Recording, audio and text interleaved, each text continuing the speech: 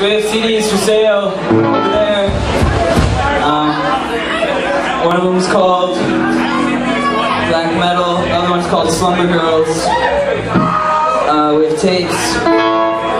We have T-shirts. We have mugs. We have, we got everything.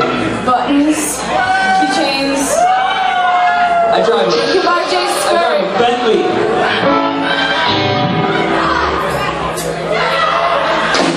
Song is gonna be off our next CD.